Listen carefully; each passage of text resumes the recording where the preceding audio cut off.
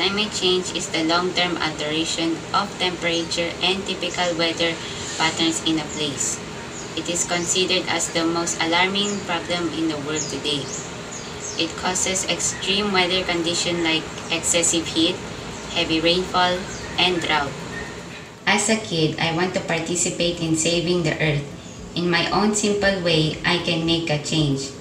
I can conserve energy by turning off the lights and other appliances when not in use.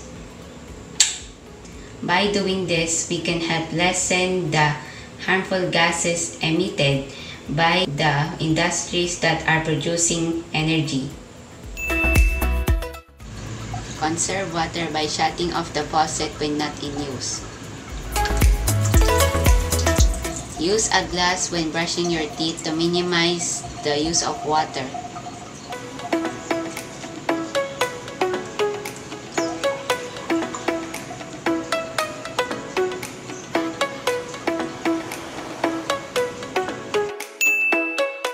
Normally, we put our non-biodegradable garbage like plastic bags and wrappers here.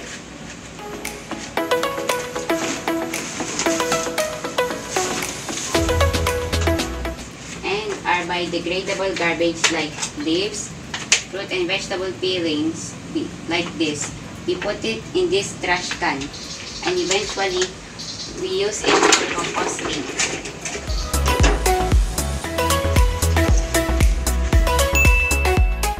The typhoon has just passed by and there are so many leaves around. So, let's compost it. I will show you how we do the composting at home. We use a sack because we don't have enough space at home. First, we put the garbage.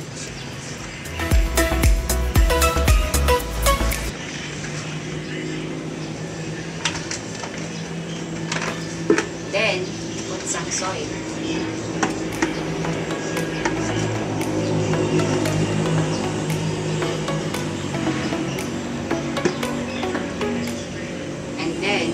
Some water.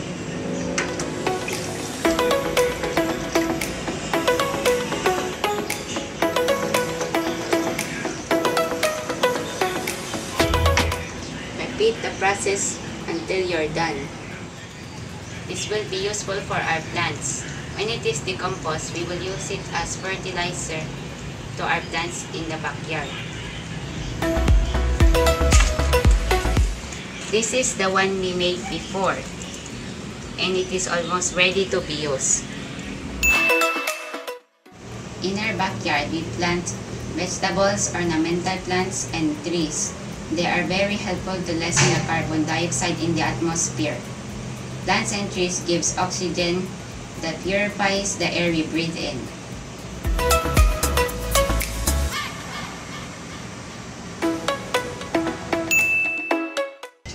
An individual living in this planet, each and every one of us should take part in saving it before it's too late.